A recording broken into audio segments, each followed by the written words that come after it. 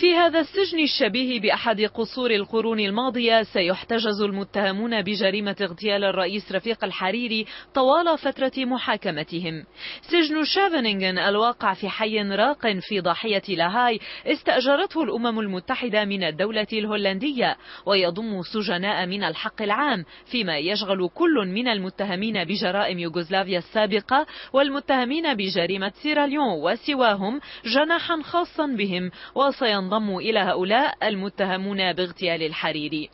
السجن التاريخي شهد تعذيبا وإعداما لعدد من المقاومين الهولنديين للاحتلال النازي ولكنه مع إدارة الأمم المتحدة أصبح أشبه بفندق خمسة نجوم لكل معتقل زنزانته الخاصة به التي تبقى مفتوحة في النهار. فيها سرير مفرد وطاولة عمل وحمام ورفوف وإذا أراد تلفزيون وكمبيوتر وتصل الرفاهية المقيدة حدود الحرية الجنسية.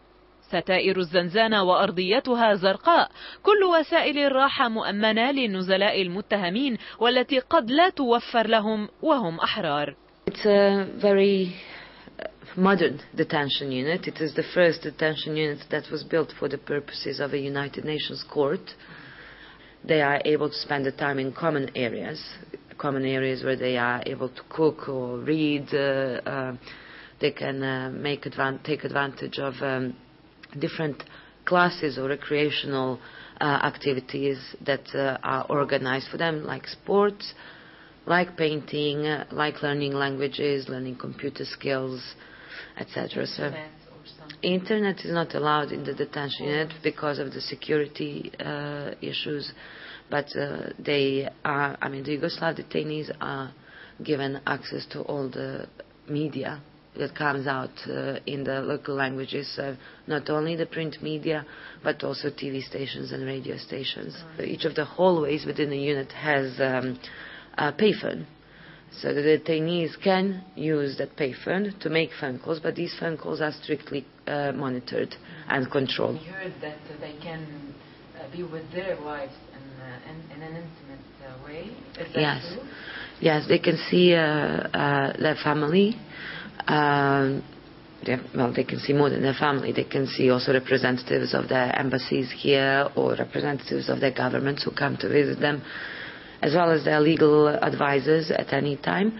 Uh, the family and friends and those kind of visits uh, are allowed on um, for six consecutive days during the working hours, so they can see them from nine to five, for example. They don't only come for one hour, like you would see in national. They would uh, stay with them. They would stay. They can spend time in the visiting area uh-huh. where you have uh, uh, toys where the children can play and they can spend time together talking or sitting on the couch. And yes, there is a room for intimate uh, visits where uh, the accused can see their wife in a more private surroundings. تضم أجنحة سجن شافنينغن مستشفى بأجهزة طبية شبه كاملة خصوصا مع تأكيد القيمين عليه أن معظم المعتقلين يتعدى سنهم الخمسين ما يعني أنهم بحاجة إلى عناية طبية متواصلة. يمكن للمعتقلين شراء بعض حاجاتهم من مخزن السجن ويعدون أطباقهم الخاصة إذ إن بعضهم يرى طعام السجن كأكل المستشفى عديم النكهة. ويتحدث بعض ممن دخلوا السجن أن جوا من الألفة تسوده حيث يتشارك المتهمون في نشاطات ومسابقات عديدة. Are they groups by uh, religion or No, actually, it's strictly uh, against our rules. The only uh, way we can segregate or section them is if keeping two uh, accused together in the same block uh, would have an effect on the security of the detention unit or even more importantly, if keeping them together could have an effect on the procedure, on the trial itself.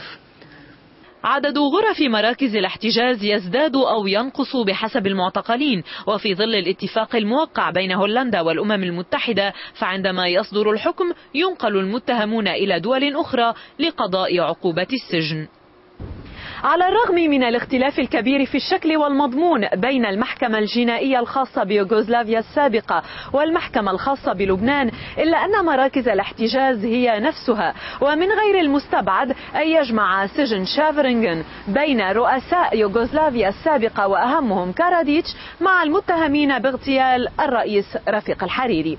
من أمام المحكمة الدولية في لايتشندام لاهاي هولندا. كلارا جحا قناة الجديد.